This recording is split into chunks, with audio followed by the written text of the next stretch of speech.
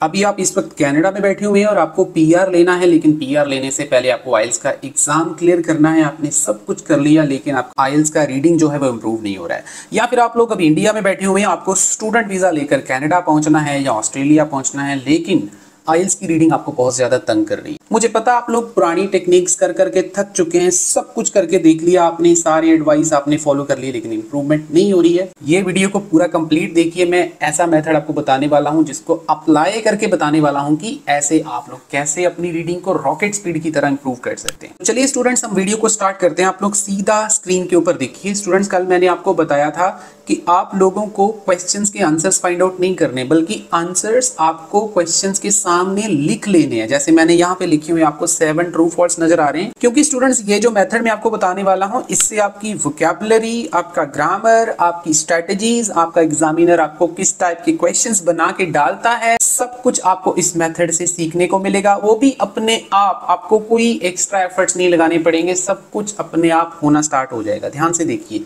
Students मैंने कल आपको बताया था कि नॉर्मली हम लोग क्वेश्चन टू आंसर जाते हैं। मतलब हम क्वेश्चंस पढ़ते हैं, फिर हम आंसर्स फाइंड आउट करते हैं और उसके बाद हम अपने आंसर्स चेक करते हैं, हमारा आंसर कौन सा गलत हुआ, सही हुआ, उसके बाद एनालिसिस करते हैं। लेकिन आपको क्या करना है, इस मेथड के तहत आपको सारे आंसर्स पहले ही लिख लेने चालीस के चालीस आंसर लिख लेने जैसे यहाँ पर आपको स्क्रीन के ऊपर दिख रहे हैं। सेवन ट्रू फॉल्ट आपके सामने हैं और सभी के आंसर्स मैंने आपके सामने लिख दिए अब मैंने क्या करना है, ये जो आंसर्स हैं, इनको मैंने जाके ढूंढना है। कि कौन सा आंसर कहाँ पे है, कौन सी लोकेशन के ऊपर है, उसका आंसर क्यों, कैसे आया? आप ये प्रैक्टिकल देखिए, कैसे आपकी वोकेबलरी कैसे आपका सब कुछ इंप्रूव होता है। तो पहले क्वेश्चन को हम रीड करते, क्या लिखा इसने? The idea behind N Y S L O was based on another orchestra ये जो तीन चीज़ें हैं, इसके ऊपर आपके ट्रू फॉल्स नॉट गिवन टिके होते हैं। हमने इसी मेथड को फॉलो करना है, इसके अलावा हमने कुछ एक्स्ट्रा चीज़ नहीं करनी है। उसने लिखा है नेल्जो जो है, वो किसी और ऑर्केस्ट्रा के ऊपर बेस्ड है. मतलब नेल्जो जो है, उस, वो अपनी विचारधारा के ऊपर बेस्ड नहीं है, किसी और चीज़ के ऊपर बेस्ड है। तो आपका आंसर ट्रू हो जाएगा। इसका कॉन्ट्राडिक्शन का मतलब क्या है? कि जो नेल्जो है, वो अपनी खुद की विचारधारा के ऊपर बेस्ड है, किसी और के ऊपर डिपेंड नहीं है तो इसका आंसर फॉल्स हो जाएगा। अगर इसके बारे में नहीं बताया तो आंसर नॉट गिवन है। ये देखिए स्टूडेंट आपके सामने ये नेल्जो लिखा हुआ है, उसके बाद इसको रेफर किया हुआ है इट के साथ। मतलब नेल्जो है, ये कोई ऑर्केस्ट्रा है okay it was found in early 2007 आगे वाला जो सेंटेंस है, वो आपका आंसर है। Grew out of and grew out of का मतलब है it it grew out of concept developed by East London state starter orchestra इसका मतलब क्या हुआ? सिंपल सा मतलब है कि ये जो ऑर्केस्ट्रा है नेल्जो जो है, वो किसी और ऑर्केस्ट्रा के ऊपर बेस्ड है और ऑर्केस्ट्रा के कॉन्सेप्ट के ऊपर बेस्ड है। तो ये यहाँ पर आपको वोकेबलरी सीखने का मौका मिल रहा है। देखिए उसने क्वेश्चन में लिखा था कुछ और और यहाँ पर उसको चेंज कर दिया पूरी तरह से। तो यहाँ पर आपको सीखने का मौका मिल रहा है कि कैसे वो आप लोगों को फंसाते हैं आंसर्स में। नेक्स्ट क्वेश्चन की तरफ़ हम बढ़ते हैं। क्वेश्चन में इसने लिखा है an ability to read music is essential इसका मतलब क्या है? कि आपको म्यूज़िक रीड करना आना चाहिए, ये ज़रूरी है। अगर नहीं आएगा तो आप मतलब ये काम नहीं कर सकते। तो अगर तो मेरा पैसेज भी यही बता रहा है कि म्यूज़िक रीड करना आना चाहिए तो ट्रू हो जाएगा। अगर उसका उल्टा बता रहा मतलब वो ये बता रहा है, इसका उल्टा क्या होगा? मतलब वो ये बता रहा है कि हमें म्यूज़िक रीड करना कोई कंपलसरी नहीं नहीं भी आता तो भी आप नेल्जो को ज्वाइन कर सकते हैं। तो ये रहा आपका सेकेंड का लोकेशन इसको देखते हैं इसने कैसे बनाया हुआ है। पहले वाले सेंटेंस में ही आंसर क्लियर कर दिया। Participants should have basic music reading skills participants के पास बेसिक म्यूज़िक रीडिंग स्किल्स होनी ज़रूरी हैं। शुड हैव और वहाँ पर उसने क्या लिखा है? असेंशियल तो यहाँ पर भी आपके लिए काम की चीज़ है। शुड हैव और असेंशियल जो है, वो आपस में कैसे पैराफ्रेजिंग है, ये आपको नोट डाउन कर लेना है अपनी नोटबुक के ऊपर। नेक्स्ट टाइम अगर इसके ऊपर कोई भी क्वेश्चन आता है तो आप आराम से उसको टैकल कर लोगे। नेक्स्ट क्वेश्चन की तरफ़ हम बढ़ते हैं। स्टूडेंट्स आप लोगों को मैं एक छोटी सी रिक्वेस्ट कर रहा हूँ। इस चैनल को ज़रूर सब्सक्राइब कर लेना और वीडियो को एक छोटा सा लाइक दे देना। यार, हमें हौसला मिल जाता है कि आप लोगों को कुछ समझ में आ रहा है, जो हम समझा रहे हैं कि कोशिश कर रहे हैं, आप लोगों के दिमाग में वो चीज़ जा रही है। नेक्स्ट क्वेश्चन में इसने लिखा है the N Y L S O might unsuitable for very advance level music यहाँ पर आप लोगों के लिए दोबारा से कुछ सीखने को मिल सकता है। तो अगर तो ये जो N Y L S O है, वो अनसूटेबल है। सारे का सारा आंसर अनसूटेबल के ऊपर टिका हुआ है। अगर तो वो अनसूटेबल है, इस लेवल के म्यूजिशियंस के लिए तो आपका आंसर ट्रू है। अगर इसने ऐसा बोल दिया कि ये सभी के लिए सूट करता है, कोई ऐसी कंडीशन नहीं है, चाहे कोई भी लेवल का बंदा हो, सब बंदे इसके लिए एलिजिबल हैं तो आपका आंसर फॉल्स हो जाएगा। अगर इसके बारे में नहीं बताया तो आपका आंसर नॉट गिवन है। चलिए हम जाके पैसेज में ढूंढते क्या लिखा है इसने। तो ये देखिए स्टूडेंट यहाँ पर मैंने इसको मार्क डाउन किया हुआ है। आपकी फैसिलिटी के लिए ध्यान से रीड करिए। क्या लिखा हुआ यहाँ पे if you have ever been paid to play your instrument recently graduated with a degree in performance ध्यान से देखिए, वहाँ पर उसने क्वेश्चन में क्या लिखा था इस चीज़ को? वोकेबलरी सीखने का देखो, कितना बढ़िया मौका आपके पास। यहाँ पर उसने लिखा एडवांस लेवल ऑफ़ मजिशियन और उसको वहाँ पर चेंज करके लिख दिया कि अगर किसी बंदे ने इसकी डिग्री की हुई है तो क्या होगा? उस बंदे के लिए क्या हो सकता है? You may decide we are not the appropriate group for you आप ये मतलब फैसला कर सकते हैं कि हम आपके लिए सही ग्रुप नहीं है। मतलब क्या हो गया इसका? सिंपल सी बात है, वहाँ पर उसने इसको अनसूटेबल लिखा था और यहाँ पर उसने उसको चेंज कर कर लिख दिया कि हम आपके लिए सही ग्रुप नहीं है, अगर आपने कोई ग्रेजुएशन डिग्री करी है। मतलब ग्रेजुएशन डिग्री करी है मतलब आपने कोई एडवांस लेवल के आप म्यूजिशियन हो तो हम आपके लिए सूट नहीं करते। तो इसका आंसर जो है वह ट्रू आ गया। अब आप देखिए कैसे उसने एक तो अनसूटेबल को चेंज किया, एक इसको चेंज किया और आपका आंसर ट्रू हो गया। अगर आप लोगों को वकैब की प्रॉब्लम है साथ साथ में आपकी इंप्रूव होती जाएगी। अब आपको अनसूटेबल लिख लेना है अपनी नोटबुक के ऊपर और साथ साथ में देख लेना है कि उन्होंने वहाँ पर उसको कैसे लिखा था। इससे आपकी वोकेबलरी भी इंप्रूव होनी स्टार्ट हो जाएगी। नेक्स्ट क्वेश्चन को हम रीड करते कहते हैं नेल्जो concerts are free to members family and friends इसका आंसर यहाँ पे नोट गिवन दिखा रहा है। हम पीछे जाके देखते हैं कि इसका आंसर नॉट गिवन क्यों है लेकिन उससे पहले आपको क्वेश्चन के ऊपर टाइम स्पेंड करना चाहिए कि इसका answer true false not given कैसे होगा। तो इसका आंसर नॉट गिवन ऐसे होगा। अगर उसने इसके बारे में कोई प्राइसिंग के बारे में कोई बात नहीं करी है कि जो नेल्जो कॉन्सेप्ट है, वो किसी के लिए फ्री है या नहीं है, ऐसा अगर उसने कुछ बोला है तो आपका आंसर ट्रू या फॉल्स जाएगा। अगर उसने प्राइस की कोई बात नहीं करी है तो आपका आंसर नॉट गिवन ये यहाँ पर इसकी लोकेशन है। फ्रेंड्स एंड फैमिली आपको दिखाई दे रहा है। हम इसको रीड करते हैं। We work with the goal of producing one two three very informal friends and family concerts per year आप लोग ये सारा रीड कर सकते हैं, इसमें कहीं पर भी प्राइसिंग की कोई बात ही नहीं हुई है। वैसे भी अगर बात हो भी जाती तो आपको ये चेक करना था कि फैमिली और फ्रेंड्स के लिए फ्री है या नहीं है, उस चीज़ के ऊपर आपका आंसर टिकता। लेकिन यहाँ पर इसने, आप बहुत लकी हो कि ऐसा इसने कुछ लिखा ही नहीं है। प्राइस के बारे में डायरेक्टली ही कुछ नहीं लिखा है।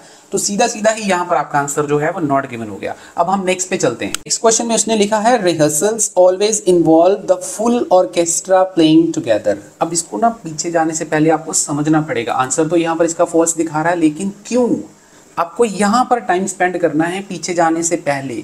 मतलब पैसेज में तो बहुत जल्दी चले जाते हैं, हम लोग दिमाग में क्वेश्चन को नहीं घुमाते। पहले क्वेश्चन को आपको स्टूडेंट इस बेसिस के ऊपर यहाँ पर मूव करना है और उसके बाद पैसेज में जाना है। तो इसका मीनिंग समझो, थोड़ा सा क्या कहने की कोशिश कर रहा है। इसने लिखा है rehearsal always involve full orchestra इसका मतलब क्या है?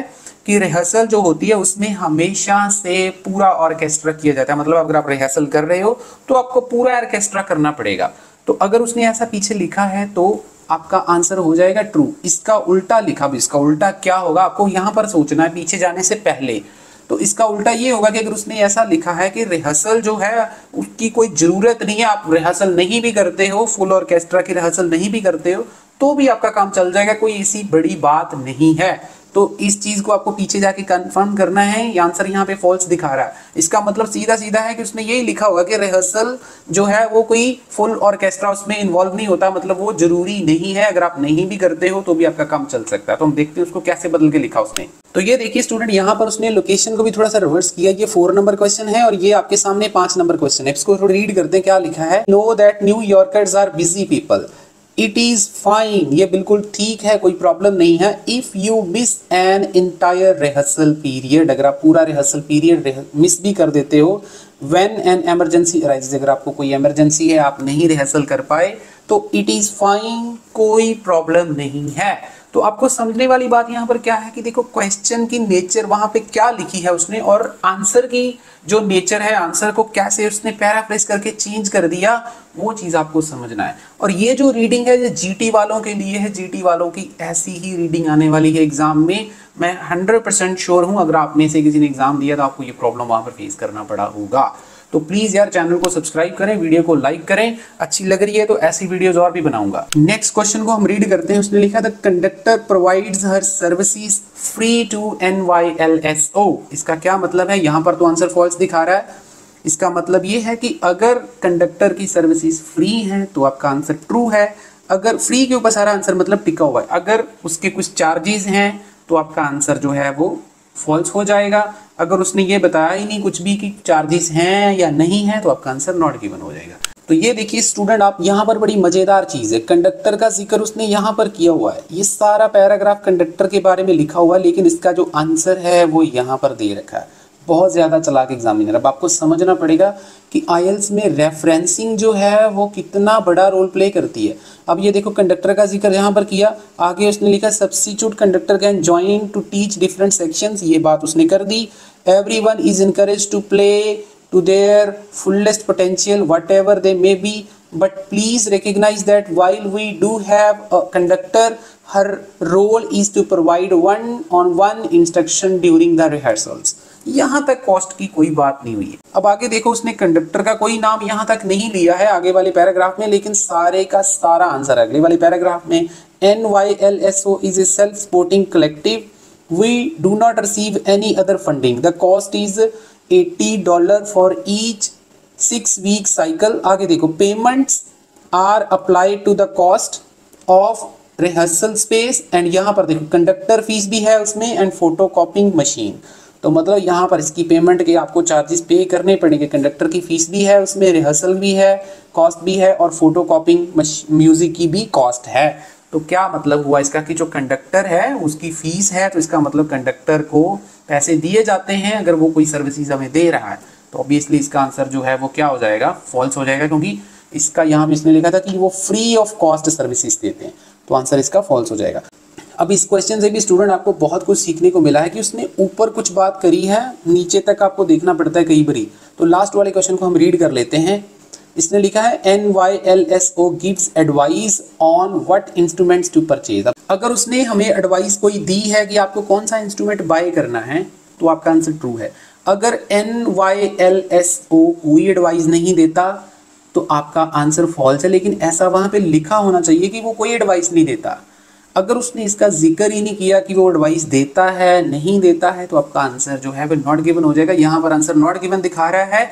तो इसका मतलब हमें उसने N Y L S O ने कोई भी एडवाइस नहीं दी होगी। देखते हैं उसने कैसे लिखा है। तो ये देखिए उसने साफ़ साफ़ लिखा हुआ है you will need an instrument a portable music stand any other relevant accessories you should bring a folder your music together and a soft lead pencil with an eraser for writing in changes. Sheet music is provided. अब हमें यहाँ पर कोई भी ऐसी advice नहीं दिखाई दे रही है कि जो वहाँ पर जो N Y L S O है, वो हमें कोई एडवाइस देता है कि आपको ये वाला म्यूज़िक परचेज करना हालाँकि उन्होंने रिकमेंड किया है कि ये आपको लेके आने हैं, लेकिन इसको लेकर ब्रिंग और परचेज आपस में कभी भी सिनेम्स नहीं हो सकते। आपको ये रिकमेंडेशन दी जा रही है कि आपको ये चीज़ें लेकर आनी है, लेकिन बाय करने के ऊपर नहीं आपको बोला जा रहा कि आपको ये चीज़ मार्केट से बाय करनी है। ठीक है जी? तो मतलब साफ़ है कि इसके बारे में कोई ज़िक्र नहीं किया हुआ है कि उनको परचेज करना चाहिए, कौन सा म्यूज़िक इंस्ट्रूमेंट परचेज करना चाहिए। नथिंग इज़ देयर आंसर आपका नॉट गिवन हो जाएगा, लेकिन ये आंसर काफ़ी ज़्यादा ट्रिकी आंसर था। होपफुली वीडियो बहुत अच्छा लगा होगा। स्टूडेंट किसी को क्लासेस चाहिए ऑनलाइन आपको नंबर स्क्रीन के ऊपर दिख रहा है। आप हमारे साथ कॉन्टेक्ट कर सकते हैं। और अगर किसी भी स्टूडेंट को मटेरियल चाहिए एग्ज़ाम लेवल का, भी आप हमारे साथ कांटेक्ट कर सकते हैं।